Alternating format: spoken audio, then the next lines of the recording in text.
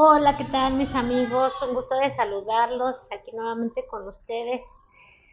¿Qué creen que hoy me quiero dar a la tarea de, de poderles platicar lo que es trabajar en una empresa que se dedica al red de mercadeo, que es marketing, que hoy en día se está haciendo mucho y hay muchas empresas que lo manejan de esa manera, como es el caso de Avon, Stan Home, todos aquellos productos que ven en catálogo, este, es una red de mercadeo.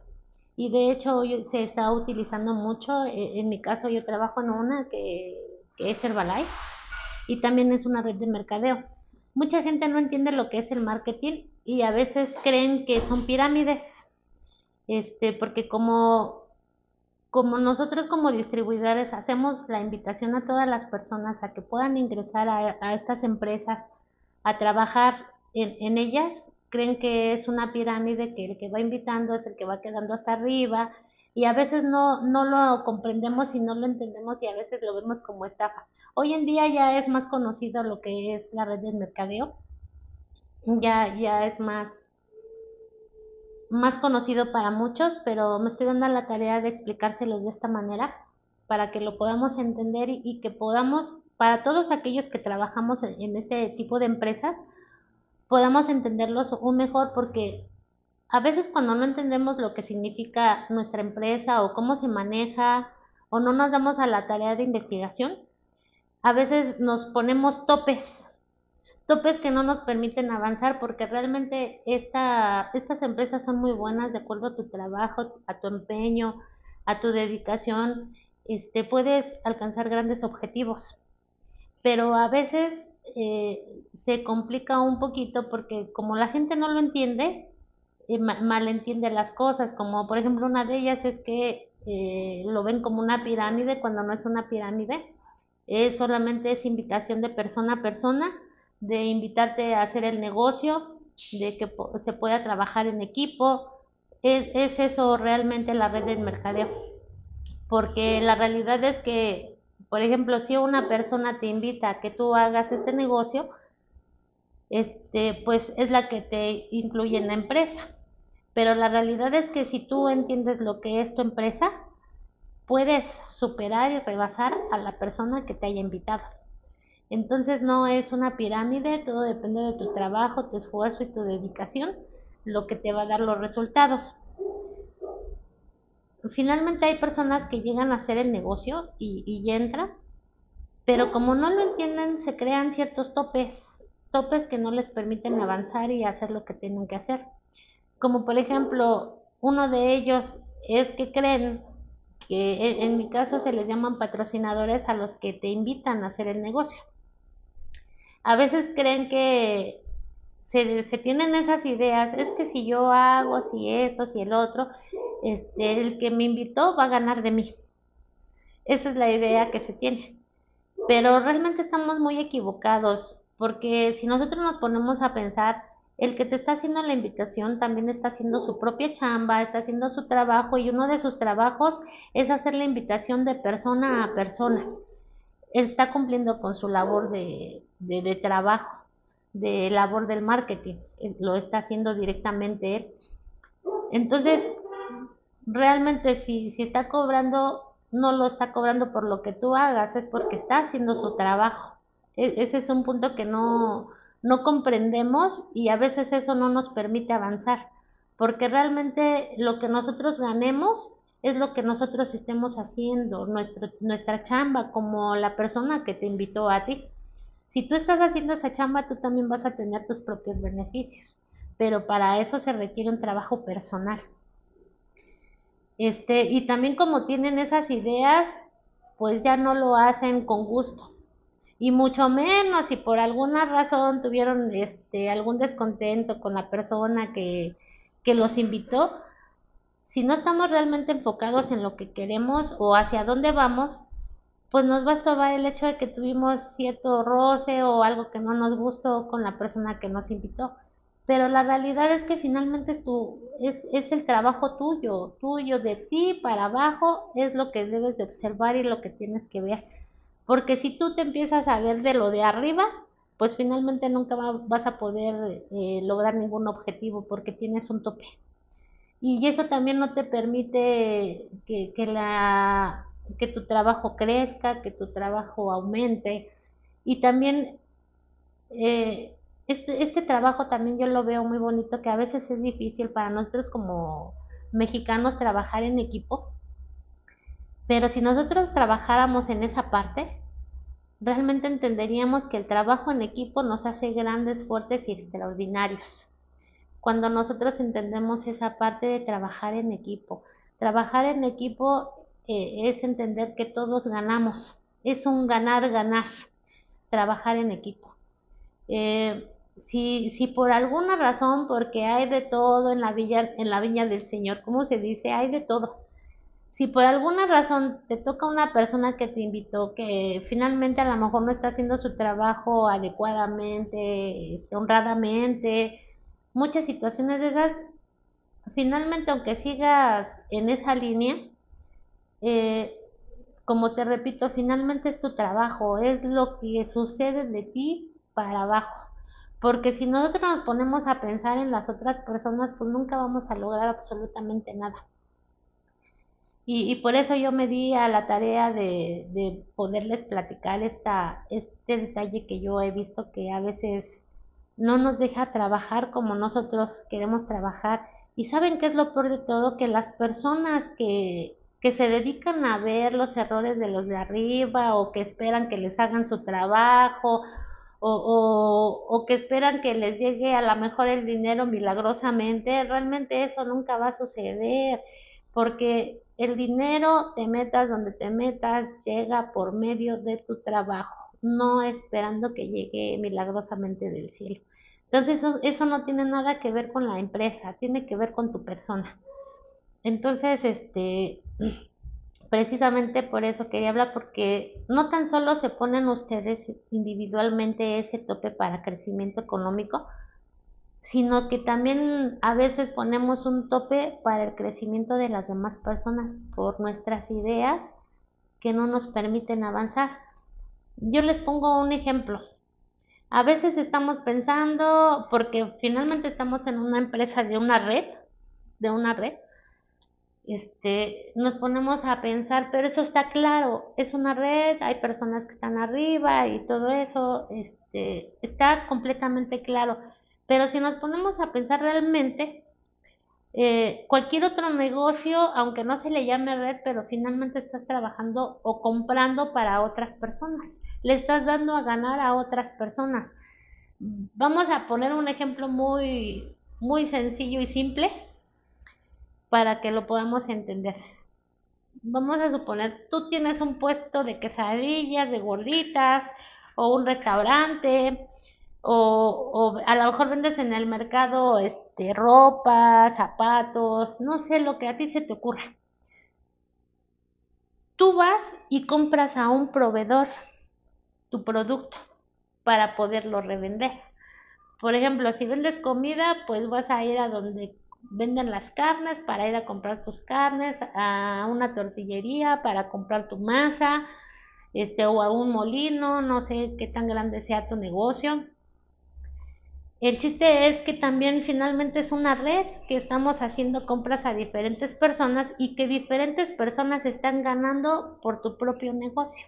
Está ganando el que vende carnes, el que vende masa, el que vende las verduras. Todos ellos están ganando por medio de tu negocio de alimentos que estás poniendo. Entonces yo no le veo cuál es el, el problema que luego se forma en las empresas de marketing en, en las empresas de multinivel, se les llama. En empresas de multinivel, no, no entiendo cuál es el problema o cuál es el tope que se nos pone. ¿Por qué no podemos pensar en esa situación? Siempre va a ser exactamente lo mismo. A, a menos tú pudieras tener todas las ganancias, todo el dinero y sin estar pensando que le estás dando a ganar a otro, que tú mismo fueras tu proveedor de carne, tu proveedor de verduras, pero realmente eso no sucede. Y finalmente fíjense cómo está el asunto. Vamos a suponer que tienen el, negocio de, de comidas. Van y ustedes compran a una carnicería su carne. El de la carnicería va a un rastro para poder vender carnes. El del rastro posiblemente se va a un rancho para comprar carnes donde los venden. Entonces se imaginan toda la red que está ganando por encima de nosotros por tener un negocio de comida. Pero ahí no, no le vemos ningún problema, ninguna situación, ninguna circunstancia. Pero nosotros nos metemos en una red de mercadeo y sí le encontramos un problema. Y cuando vemos que es exactamente lo mismo. Y, y, le encontramos el problema, tanto le vemos el problema que eso nos perjudica en el avance y en estar libres de nuestra cabeza para seguir ganando dinero nosotros personalmente. Porque estamos pensando, ay, no, es que la empresa está ganando mucho dinero con todo lo que compramos, con todo lo que hacemos y es... Pero finalmente tú estás entrando en una empresa de esa magnitud y finalmente la empresa es tu proveedor. ¿Cuál es el problema? Al, igual que en, en, el restaurante, como te comento, eso depende de tu trabajo, lo que tú ganes o no ganes. No depende de los que están arriba o de tu proveedor.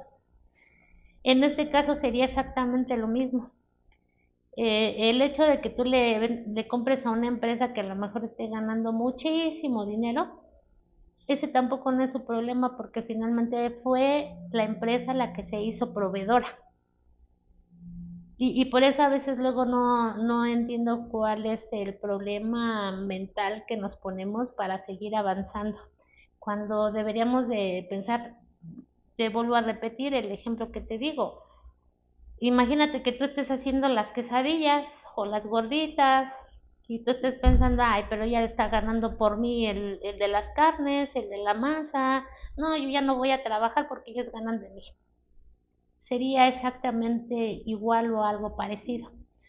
Realmente la invitación es que nosotros hagamos lo que, lo que tengamos que hacer en donde quiera que estemos trabajando, sea nuestra decisión de trabajo, nuestra empresa donde estemos, todo depende de ti, de tu esfuerzo y de tu dedicación. Eso es lo que nos da el resultado. Y también si tenemos un cambio de mente, de, de ideas, posiblemente podríamos avanzar mucho más. Pero no tan solo eso, no estaríamos poniendo topes a las demás personas. Porque cuando nosotros tenemos una mala idea o una idea equivocada de lo que estamos haciendo, pues nosotros ya lo hacemos con descontento. Pero la realidad es que no nos quedamos nada más con eso. Nosotros sabemos cómo somos, nos gusta el chisme. Entonces no, no, nada más nos quedamos con eso. Aparte luego malinformamos a las demás personas y les estamos quitando la oportunidad de que esas personas puedan conocer otra oportunidad de trabajo. O, o, o, si no lo estamos haciendo con las personas que a lo mejor no conocen la empresa, si lo estamos haciendo directamente con los que ya están haciendo el negocio, también les están metiendo ideas que no les van a permitir seguir adelante. Entonces, están, nos están, no nos estamos, cuando tenemos malas ideas, no tan solo nos estamos destruyendo a nosotros mismos, sino que estamos destruyendo también el trabajo de los demás, eh, estamos destruyendo el avance de los demás y, y lo malo que tenemos es que no permitimos que trabajemos en equipo. Porque eso ya nos da una idea de no compromiso, nos da una idea de no trabajar juntos, nos da una idea de, de, hacer las cosas con recelo y no con amor, que realmente las cosas cuando las hacemos con amor es cuando funcionan. Y no estamos hablando tan solo monetariamente, también funcionan para ti porque no lo estás haciendo con estrés, porque un descontento te genera estrés. Entonces, precisamente yo me di a la tarea de poderles este, tratar de, de comentar este detalle, porque si tú trabajas en cualquier red de mercadeo, en multinivel se le llama, este, pues que lo tomes en cuenta. O si te vas a dar una oportunidad, que lo hagas bien. O o si no, o si no te interesó por alguna razón, pues busquemos nuestro propio camino, pero, pero eso de que le quitemos la ilusión a otras personas que a lo mejor sí podrían ellas conseguir algo importante, este, nosotros estemos quitando esa oportunidad a las demás personas. Que, que si quieren trabajar, que si quieren hacer cosas, que si quieren este, hacer la diferencia. Pero aunque también eso este, también es una cuestión personal el que nosotros escuchemos ciertas cosas o nosotros mismos las investiguemos. Eso es bien importante, el que nosotros investiguemos, investiguemos, investiguemos, para que nadie nos venga a decir cosas que a lo mejor no son reales. La investigación es la que nos hace sabios, los que nos hace importantes y los que nos hace progresar. Investiguen, investiguen a dónde están, qué es lo que van a hacer, cómo se mueve el asunto, en lugar de dejarnos llevar por lo que dice el fulanito, que dijo el, el vecinito, que no, eso no es así, porque posiblemente se estén quitando la oportunidad de hacer algo importante para sus vidas. Entonces la investigación es lo que nos ayudaría al progreso. Pues mis amigos, ojalá y haya quedado una buena información para ustedes y que yo haya podido transmitirles el mensaje que querían transmitirles en este momento. Pues me dio mucho gusto saludarlos y ya saben que les agradezco muchísimo el que ustedes estén suscribiendo al canal y los invito a que les pongan like y que compartan para que este canal siga en aumento. Y yo les agradezco de antemano todo el apoyo que me, me estén dando hasta el momento. Muchas gracias y que Dios me los bendiga y me los cuide mucho. Hasta la próxima.